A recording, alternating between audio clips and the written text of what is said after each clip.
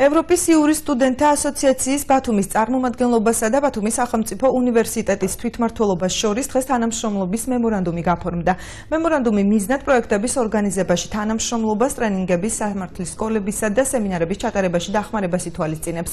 დაგეგმილია მუშაობა იმიტირებული სასამართლო ჩასატარებლად. მემორანდუმი იურიდიული ფაკულტეტის სტუდენტებისათვის პროექტებში ჩართვის მიზნით ფინანსურ და მატერიალურ მხარდაჭერასაც ითვალისწინებს. ხელმოწერილი თანამშრომლობის მემორანდუმი უვადოა. 差しを。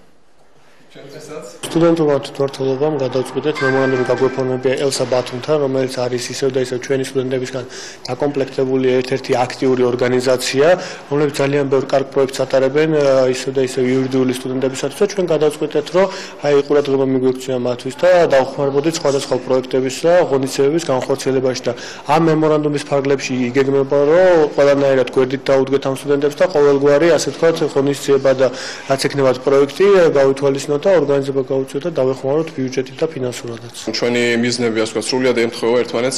აქედან გამომდინარე გადავწყვეტთ რომ გავაფორმოთ ურთიერთთანამშრომლობის მემორანდუმი თვითმართველობასთან და ჩვენ კერძოდ დავჭირდება მათი პარტნიორობა ასე ვთქვათ გარკვეულ პროექტებში.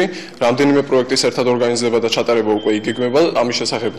ახლა ეს მომავალში გახდება ცნობილი, როცა ელსაბათუმი უკვე გამოაცხადებს თვითმართველობასთან ერთად მიღებას გარკვეულ პროექტებზე.